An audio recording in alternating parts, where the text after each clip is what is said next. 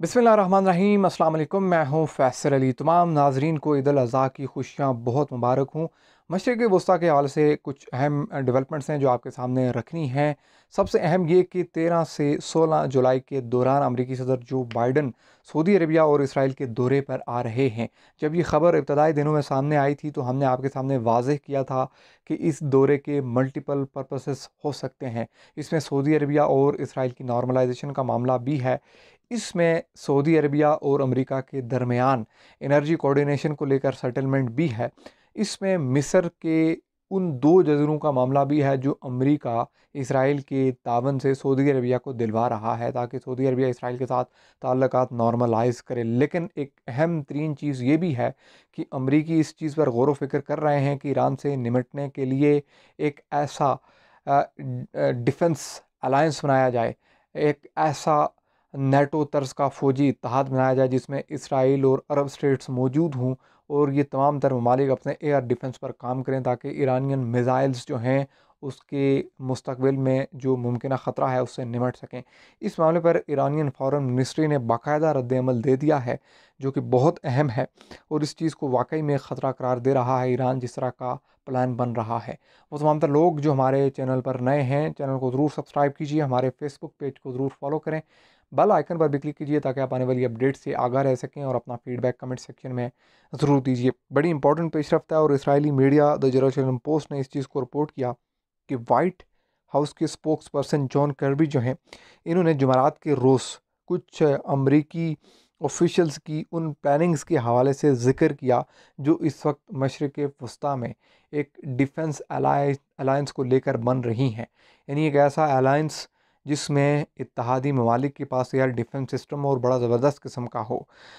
White House spokesperson John Kirby said on Thursday that US officials are discussing ways of integrating air defence capabilities with regional leaders in the face of a threat from Iran Iran के ballistic missiles cruise missiles आए दिन उनकी range जो है, उस पर काम हो रहा है और ईरान और ईरान उनको मज़ीद सोफिस्टिकेटेड मज़ीद एडवांस और मज़ीद लॉन्ग रेंज तक बढ़ा रहा है। तो इसीलिए अब वाइट हाउस के स्पोक्स पर्सन का ये कहना है कि अमरीकी इस चीज़ पर गौर वफिक्र कर रहे हैं कि इलाकाई सरबराहान के साथ मिलकर एयर डिफेंस पर ज़्यादा से ज़्यादा काम किया जाए। तो इस पर ईरानियन फॉरेन मिनिस्ट्री ने हफ़्ते के रोज़ रद्दमल दिया और ये कहा कि इस वक्त जो प्लान अमेरिका का और इसराइल का है, ताकि वो अरब रियासतों के साथ मिलकर एक मुश्तर दिफाई इतिहाद बनाएँ ईरान से निमटने के लिए ईरानियन ड्रोन्स और मिज़ाइल से निमटने के लिए। ईरानियन फॉरेन मिनिस्ट्री का ये कहना कि इस तरह का अगर आप इकदाम करेंगे तो ख़त्े में उससे सिर्फ़ टेंशन बढ़ेगी, आपके पास किसी भी मसले का हल नहीं आएगा। The entry of foreigners in the region will not create security and stability but is it self the main cause of tension and regional rift spokes person Nasser Kanaani said according to the state media गैर मुल्कियों का इस reason में दाखिल होना, इस ख़त्े की जो सिक्योरिटी है और जो सालमियत है, उसको ख़तरे में डालने की बुनियादी वजह बनेगा। इस ख़त्े में मज़ीद मसाइल पैदा होंगे। ये ईरानियन फ़ॉरेन मिनिस्ट्री के स्पोक्स पर्सन नसीर कानी का कहना है। ये रद्दमल है, बाकायदा तौर पर जो ईरान आन नोटिस इस वक्त करार दे रहा है। यूनाइटेड स्टेट्स यानी अमेरिका और इसराइल इसके लिए एक पूरा ग्राउंड वर्क कर चुके हैं काफ़ी हद तक। और कुछ चीज़ों को आप मज़ीद रिलेट कर लीजिए। जब मोहम्मद बिन सलमान ने 21, 22 और 23 जून को अहम विज़िट्स किए थे मिस्र उर्दन और तुर्की के उस वक्त भी हमने आपके सामने ये रखा था कि इस दौरे के मल्टीपल पर्पसेस हो सकते हैं। तो अब समझ आ रहा है कि जो बाइडन के मिडिल ईस्ट के दौरे से पहले सऊदी अरबिया के शहज़ादे ने ये जो दौरे किए, इसमें मुमकिन तौर पर इन ममालिक को कॉन्फिडेंस में लिया गया है कंसेंसस डेवलप कर लिया गया है। एक तो सऊदी अरबिया इसराइल के साथ नॉर्मलाइजेशन करेगा उस मामले पर तो है ही है, लेकिन ईरानियन ड्रोन और मिसाइल से निपटने के लिए जो एक एयर डिफेंस अलायंस जो है, वो बनाने की बात हो रही है। तो अब इस सब के साथ जो अहम है, वो ये कि ग्राउंड वर्क तो हो चुका है। और मिडल ईस्ट के अंदर जो अहम अरब रियासतें हैं, जो हाईली इन्फ्लुएंशियल हैं, ज़ाहिर है कि सऊदी अरबिया है, उसमें यूएई है तो ये बाकियों को भी अपने साथ मिलाएँगे, बहरीन को, कोवैत को जॉर्डन को भी मिला लेंगे, ज़ाहिर है कि वो इसराइल के पड़ोस पर मौजूद है, इजिप्ट डेफिनेटली वो इनके साथ होगा। कतर एक ऐसा मुल्क जो ईरान का एलाई रहा है, उसके बारे में हम नहीं कह सकते, लेकिन ज़ाहिर है कि वो गल्फ़ जो कॉपरेशन कौंसिल है, उसका मेंबर है तो उस पर भी प्रेशर बन सकता है। अब यूएस प्रेसिडेंट जो बाइडन का विज़िट जो है, अगले हफ़्ते होने जा रहा है। जॉन करबी का ये कहना है कि अमरीकी इस बारे में उन तमाम तर दिफाई सलाहियतों के हवाले से, इलाकाई रहनुमाओं से बात करेंगे।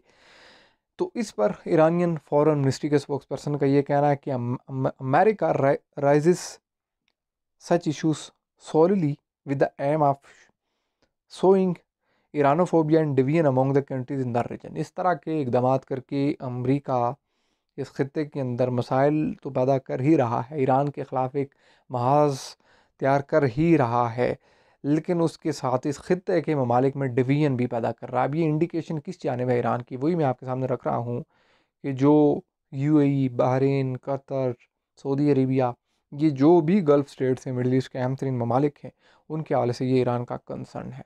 तो ये बहुत इंपॉर्टेंट पेश रफ्त है और अब देखना ये है कि जो बाइडन पहले सऊदी अरबिया आते हैं या इसराइल आते हैं, दोनों सूरतों में ये बड़ा अहम होगा।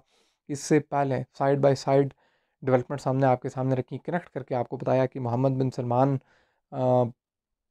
जो मिस्र, उर्दन और उसके साथ तुर्की गए, क्या मकासद हो सकते हैं? यही मकासद। और फिर अब जो जो बाइडन आ रहे हैं, जिनके बारे में इस वक्त इसराइली मीडिया एनालिसिस छाप रहा है कि क्या जो बाइडन का दौराए सऊदी अरेबिया दौराए मिडल ईस्ट, उसके अंदर सऊदी इसराइल नॉर्मलाइजेशन टेबल पर मौजूद है। तो इस ख्याल से बहुत ही पॉजिटिव और बहुत ही ग्रीन सिग्नल जो हैं इसराइली ऑफिशल्स दे रहे हैं कि डेफिनेटली ये चीज़ें टेबल पर मौजूद हैं। ये चीज़ें इस वक्त डिबेट का हिस्सा बनेंगी। इस सब के साथ अब देखना ये है कि एक जानब अमरीका को ईरान के साथ जोहरी माहा वो भी निपटाना है। कतर के अंदर जो मुजाकराती सिलसिला हुआ जून के आखिरी दिनों में तो इसी बीच में अमेरिका अगर ईरान के ख़िलाफ़ जाकर एक ऐसा अलाइंस जो मुस्तबिल में उसके लिए फ़ायदे का होगा इसराइल को बचाने के लिए, इसराइल अरब रियासतों के साथ, यानी Israeli and Arab NATO, Israeli and Arab air defence alliance in Middle East इस तरह की कोई चीज़ अमेरिका अगर बनाता है तो दूसरी जानब क्या ईरान से वो उस तरह का कोऑर्डिनेशन हासिल कर लेगा जो उसको जोहरी जो माहा है उसको बहाल करने के लिए चाहिए, यानी joint comprehensive plan of action यानी एक ऐसा माहा जो ट्रंप ने ईरान के साथ ख़त्म करके ईरान पर पाबंदियाँ इम्पोज कर दी थी और जो बाइडन उसको बहाल करना चाहते हैं, क्योंकि जो बाइडन का ये ख्याल है कि इस माहे को बहाल करने से ईरान जिस तेज़ी के साथ जहरी प्रोग्राम जारी रखे हुए है, उसमें कमी आ जाएगी और जोहरी हथियारों का ख़तरा किसी हद तक कम हो जाएगा। लेकिन यहाँ अब सांप सीढ़ी का खेल है। जानब इसराइल की बारगेनिंग है। इसराइल डेफिनेटली इस तरह का अलायंस चाहता है। अरब स्टेट्स और अमेरिका के तावन के साथ मिलकर ईरान के खिलाफ एक एयर डिफेंस अलायंस और इसराइल ये भी चाहता है कि ईरान जोरी हथियार ना बनाए। तो अमेरिका के लिए मुश्किल है। देखते हैं जो बाइडन क्या फ़ैसला लेते हैं। चैनल को ज़रूर सब्सक्राइब करें। हमारे फेसबुक पेज को ज़रूर फॉलो करें।